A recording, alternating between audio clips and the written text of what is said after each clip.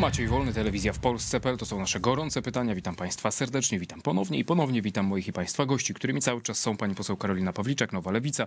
Kłaniam się ponownie pani poseł i pani poseł Elżbieta Zielińska, Prawo i Sprawiedliwość. Witam ponownie również pani poseł. Witamy serdecznie y, nowego towarzysza w naszej rozmowie, jak widzę, pani poseł. No tak, miejmy nadzieję, że, y, że jednak nie będzie się wtrącał do rozmowy. A jeśli, no to zmienimy po prostu temat i e, może wtedy też e, będzie e, ciekawie w innym kontekście, ale zaczynamy od rzeczywiście niezwykle kontrowersyjnego tematu, kontrowersyjnego za sprawą różnych bardzo skrajnych opinii, które w tej sprawie się pojawiają, z opinii dotyczących ustawy mającej zbadać wpływy rosyjskie w Polsce, bo w poniedziałek prezydent Andrzej Duda, przypomnijmy to sobie, poinformował, że zdecydował o podpisaniu ustawy o powołaniu komisji do spraw zbadania wpływów rosyjskich na bezpieczeństwo wewnętrzne RP w latach 2007-2022 oraz, że skieruje ją w trybie następczym do Trybunału Konstytucyjnego. Posłuchajmy sobie również fragmentu argumentacji ze strony pana prezydenta Andrzeja Dudy. Szanowni Państwo, wybuchła w ostatnim czasie burza związana z powołaniem w Polsce, w naszym kraju, komisji do spraw zbadania rosyjskich wpływów. Ja muszę Państwu powiedzieć, że nie bardzo rozumiem jak kwestia zbadania rosyjskich wpływów na Polskę w ciągu ostatnich 16 lat miałaby zniszczyć polską demokrację. Bo raczej to rosyjskie wpływy mogłyby moim zdaniem zniszczyć polską demokrację, a nie komisja, która będzie to sprawdzała. Jak rozumiem, ta argumentacja nie trafia do pani poseł Karoliny Pawliczak. Ja na pani Twitterze e, czytam taki wpis. Prezydent Andrzej Duda nie zaskoczył, po raz kolejny łamie konstytucję. Prawo i Sprawiedliwość wykorzysta tu wszystkie narzędzia państwa, by zdławić demokratyczną opozycję. Polityczna chucpa trwa, ale się nie poddamy. To jeszcze bardziej nas zjednoczy w walce o odzyskanie praworządnego państwa. E, podtrzymuje pani ten wpis, e, pani poseł? I na czym polega łamanie konstytucji przez pana prezydenta w tym kontekście?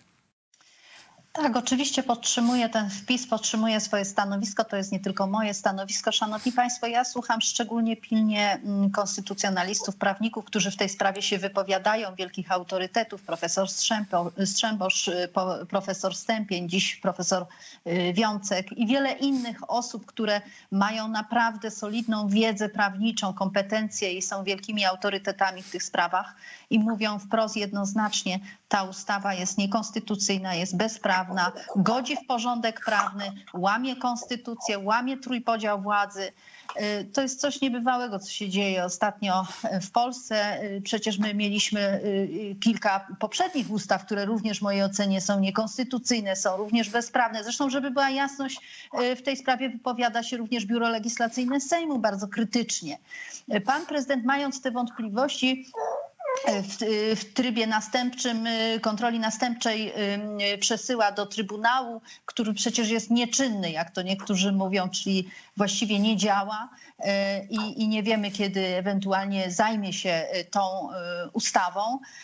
I tłumaczy, ja mam takie wrażenie, widząc wielkie emocje w słowach pana prezydenta i w zachowaniu pana prezydenta, że on wie, że źle, zrobił źle Zresztą promotor jego pracy doktorskiej również bardzo źle ocenił jego zachowanie. To też jest takie dość znaczące. Ale wie, że źle, zrobił źle i y, za wszelką cenę w tych emocjach chce wytłumaczyć społeczeństwu, jakie jest uzasadnienie. Oczywiście należy y, zbadać ewentualne wpływy mm, rosyjskie na y, Polskę, na polską politykę energetyczną. Natomiast no nie w takim trybie, szanowni państwo. To w jakim PiS trybie, pani 8, poseł? Co jest nie mówię, tak w tej ustawie? PiS miał PiS miał 8 lat, panie redaktorze, żeby zająć się y, wszelkimi wątpliwościami, czy one, się, y, czy one miały miejsce 8 y, lat temu, 7, 6 czy, czy w innym czasie, mógł zająć się tymi sprawami wcześniej. Wchodzi w, wchodzimy w kampanię wyborczą, powoływana jest komisja, która, której uprawnienia wykraczają poza wszelkie nasze wyobraźnie, to znaczy? właśnie łamiąc trójpodział władzy. No komisja jest sądem, no tak to już powiem wprost, panie redaktorze. No pani, pani, y, pani poseł, nie wiem, czy pani czytała tą ja ustawę, ale ona pani poseł jest, Elżbieta Zielińska. poza uprawnienia. Zresztą droga odwoławcza jest określona bardzo wyraźnie. Można odwołać się do sądu administracyjnego, ale tylko w określonym trybie. Także, y, szanowni państwo, no, to się nie mieści w głowie, jest to absolutnie łamanie porządku prawnego w naszym kraju. To jest bolszewicka ustawa, która nie powinna funkcjonować w ustawa, naszym, pani poseł w naszym porządku prawnym. Bolszewickie wpływy niestety od wielu, wielu lat sięgają nie tylko Polski, ale zresztą innych krajów, takich jak Francja, Niemcy, Stany Zjednoczone i tam te wpływy rosyjskie są badane. Tutaj jest szereg różnych kwestii, które naprawdę absolutnie warto E, warto poruszyć. Ja tutaj sobie chociażby kilka na, e, na szybko spisałam. To są decyzje resetu z Rosją, jak były podejmowane w kwestiach gospodarczych, w kwestiach energetycznych.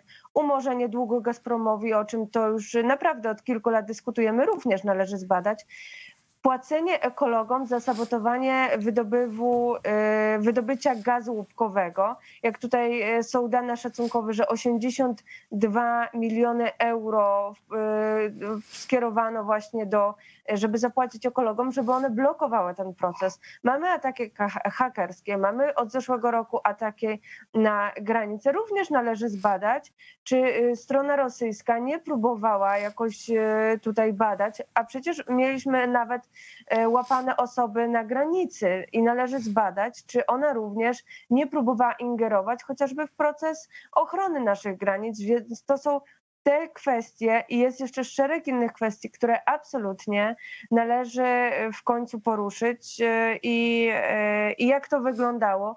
Nie tyle od strony politycznej, bo to też nie jest, jak tutaj niektórzy chcą, chcą to przedstawiać, że to politycy będą jakoś szczególnie przysłuchiwani. Ja myślę, że o wiele istotniejsze jest, co się dzieje chociażby na poziomie wydawania tych decyzji administracyjnych, jeżeli chodzi o budżet państwa, bo zresztą środki zaradcze, jakie, jakie są w tej ustawie, to są środki zaradcze, które są już znane w porządku prawnym od wielu, wielu lat, pani poseł. I to jest cofnięcie poświadczenia bezpieczeństwa bądź nałożenie zakazu otrzymania tego bezpieczeństwa na 10 lat. To samo, jeżeli chodzi o y, dysponowanie, y, pozwolenie na broń, to również jest albo cofnięcie uprawnień, albo zakaz na 10 lat. I to jest zakaz funkcji o, i to jest bardzo istotne, bo o tym opozycja mówi, że nie będzie można startować w wyborach i chodzi o eliminację przeciwnika politycznego.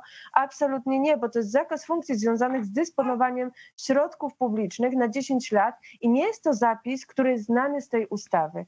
To jest zapis, który w polskim porządku prawnym jest już przeszło 18 lat. I kiedy on został ten zapis, e, w jakiej ustawie on został umieszczony? On jest umieszczony w ustawie o odpowiedzialności za naruszenie dyscypliny finansów publicznych i to jest ustawa, która była uchwalona 17 grudnia 2004 roku. Kto wtedy rządził? Lewica i PSL. I co? I przez 18 lat mamy zapis, który jest niekonstytucyjny, zbolszewicki, nikt z tym nic nie robi? Absolutnie nie, bo to jest już, e, bo to jest już e, artykuł, który w porządku prawnym jest od wielu, wielu lat i e, i on funkcjonuje. Druga kwestia, co jest bardzo istotne, i chodzi w tym momencie o skargę do sądu administracyjnego, która została zawarta w prawie o postępowaniu przed sądami administracyjnymi. Opozycja, y, kiedy mówi o tym artykule, wstawia y, artykuł 61, paragraf pierwszy, że ta decyzja jest natychmiastowa i nieodwołalna. Natomiast w ustawie nie znajduje się absolutnie ten paragraf. Znajduje się paragraf trzeci, który mówi o wstrzymaniu tej skargi. Więc y, absolutnie tutaj nie ma możliwości żeby, e, żeby nie było tego prawa do obrony. I tutaj wstrzymanie skargi w USA będzie mógł, e, mógł, jak tylko się złoży wniosek i będzie mógł podjąć taką decyzję. Więc naprawdę e, to jest. Tutaj... To nie jest sąd poza tym. I ta komisja. Jest ja myślę, że bardzo ważne jest, żeby powiedzieć, że komisja funkcjonuje bardzo podobnie jak Komisja do Spraw Reprywatyzacji i tam już był ten proces, tam ten proces się odbywał i sądy też wstrzymywały, yy, wstrzymywały te decyzje komisji. Nie było, albo je utrzymywały, albo wstrzymywały i to, to miało prawda. miejsce, że, że cofano te decyzje również komisji. Czy te tak argumenty... Będzie tym momencie też. e, Czy te argumenty trafiają możliwe. do pani poseł Karoliny państwo, Pawliczak? Ja jeszcze pani- poseł dodam jedną opinię dotyczącą tego trójpodziału władzy, o którym pani poseł wspominała e, w rozmowie z portalem w polityce.pl. Profesor Genowefa Grabowska, prawnik, ekspert do spraw prawa europejskiego i międzynarodowego mówi w ten sposób. Gdyby w, w toku procedowania komisja powzięła wiedzę o przestępstwach związanych z wykonywaniem, wykonywaniem e, wówczas funkcji, ma obowiązek zawiadomić prokuraturę i wtedy już taki organ jak prokuratura, sądy dalej funkcjonują. Nie ma tu więc mowy o wchodzeniu w czyjeś kompetencje. Czy te argumenty do pani trafiają? Absolutnie nie trafiają, dlatego Dlaczego? że wy państwo, wy państwo umieściliście, tu zwracam się do pani poseł, w jednym, powtórzę to, bublu prawnym, tej bolszewickiej ustawie, różne kompetencje wynikające z różnych przepisów i myślicie, że to się da tak fajnie połączyć i będzie się to dobrze dla was szczególnie układało. Jeżeli byłoby tak wszystko bardzo mocno w porządku, to przede wszystkim wątpliwości, bo zaznaczam, że takie wątpliwości płyną ze strony rządu Stanów Zjednoczonych. Ustami pana ambasadora e, Brzesińskiego ta wątpliwość została przekazana. Również ogromne wątpliwości ma Komisja Europejska. Być może Parlament e, Europejski Komisja będzie w tej Europejska sprawie powinna zbadać swoje spra- pani rosyjskie poseł, wpływy. Pani poseł, spokojnie. Naprawdę. E, e, Parlament Europejski będzie być może debatował nad e, tą sprawą. Już nie wspomnę o tym, że mamy zablokowane środki z Krajowego Planu Odbudowy i być może kolejne pieniądze będą z tego tytułu zablokowane, no bo znowu dzieje się w Polsce bezprawie. Ja wymieni- wymieniłam kilka tutaj e, podmiotów, kilka organów, kilka jednostek, które tak negatywnie wypowiadają się łącznie z Biurem Legislacyjnym e, Sejmu e, o tej ustawie. Więc o czym my tutaj, szanowni państwo, roz, rozmawiamy? Ustawa, która uchyla, która ma szerokie kompetencje, a przede wszystkim wprowadza zakaz pełnienia. Niech pani nie łączy w ogóle tej ustawy, ustawy prywatyzacyjnej, przepraszam, Komisji Prywatyzacyjnej Weryfikacyjnej. prywatyzacyjnej mm, odnośnie, odnośnie spraw Warszawy, dlatego że zupełnie inne uprawnienia będzie miała ta komisja. Tak samo zupełnie inne uprawnienia mają komisje powołane w innych krajach, na przykład Zgromadzenie y, Narodowe y, we Francji. Oczywiście, y, że uchwaliło ustawą powołanie takiej komisji, tylko chcę powiedzieć, że te wnioski, które zostaną tam podjęte, są przekazywane do Ministerstwa Sprawiedliwości i dalej, y, y, i dalej jakby toczy się postępowanie Pani w poseł, ramach ale ja o tym też mówiłem, organów. że jeżeli komisja mm, znajdzie tutaj jakieś dowody na właśnie nieprawidłowości w działaniu poszczególnych osób w wypełnianiu swoich funkcji, ma obowiązek zgłoszenia tego do prokuratury.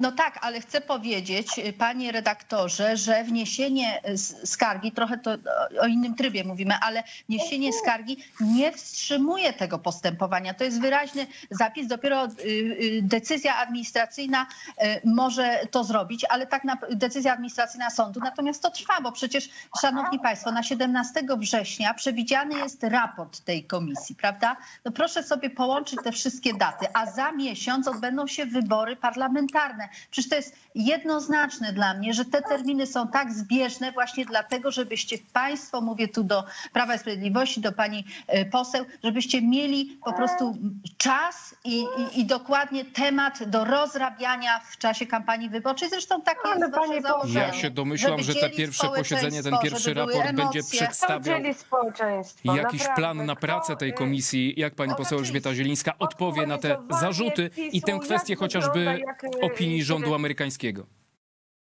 Dokładnie. Opinia Panie- rządu, panie pani, pani redaktorze. poseł. Opinia rządu. Yy, Ja tutaj mam wiele wątpliwości, co pan ambasador przekazał. A jeżeli chodzi o wątpliwości Komisji Europejskiej, to drodzy państwo, ale gdzie, jak gdzie, ale wpływy rosyjskie w Komisji Europejskiej należałoby zbadać w pierwszej kolejności. Jak No wyglądało i są badane, i decyzji? są badane. No właśnie, a jakie są wnioski, że e, pani wiceprzewodnicząca, która wychodzi z więzienia, może wracać od razu do pracy, a tam były walizki z pieniędzmi. I jak wygląda praworządność Komisji Europejskiej? I to ona ma badać praworządność? Naprawdę? No nie, pani taki rzecz nie Struktury, opowiada, bo które nie potrafią sobie poradzić z olbrzymią korupcją wewnątrz siebie? Jak, y, dlaczego mam o tym nie mówić? O tym właśnie należy mówić. pani, badają pani poseł, sprawy są badane polską, tam przez prokuraturę, przez prokuraturę Pani poseł Elżbieta e, Zielińska, państw. u nas Ale też teoretycznie te sprawy mają być badane przez aktywne- prokuratury. te osoby, które aktywnie wracają do pracy, którym udowodniono po prostu olbrzymią korupcję i jak one mają badać praworządność? Pani poseł, no na logikę, bo jak ktoś, kto y, sam ma na sobie zarzuty, ma tutaj wygłaszać... Ale o czym pani w ogóle opowiada? Drogie Jeżeli panie, są. O czym pani Tutaj opowiada? zgody na razie ja nie rozumiem. znajdziemy. Być może e, takim przyczynkiem do zgody będzie wybór składu tejże komisji. Zobaczymy, jak to wszystko się potoczy. Tutaj stawiamy kropkę. Pięknie dziękuję za nasze spotkanie. A Do tego tematu na pewno jeszcze wrócimy na antenie telewizji w Polsce.pl. Pani poseł Elżbieta Zielińska, pani poseł Karolina Dziękuję Pawliczak bardzo. były moimi i państwa dziękuję. Do gośćmi. widzenia. Dziękuję pięknie, do widzenia, do zobaczenia, a państwa zachęcam do pozostania z telewizją w Polsce.pl.